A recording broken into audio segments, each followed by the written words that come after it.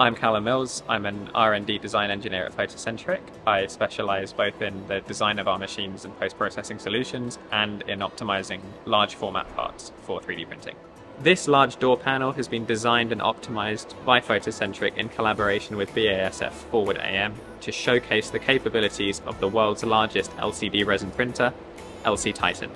Here at Photocentric, we're excited to be offering large format printing solutions, both in large size and at large volumes and scales, uh, to help unlock some of the most exciting applications for some of the biggest manufacturers in the world. Photocentric Weave is allowing our customers to scale their large format applications with additive manufacturing in days rather than weeks or months.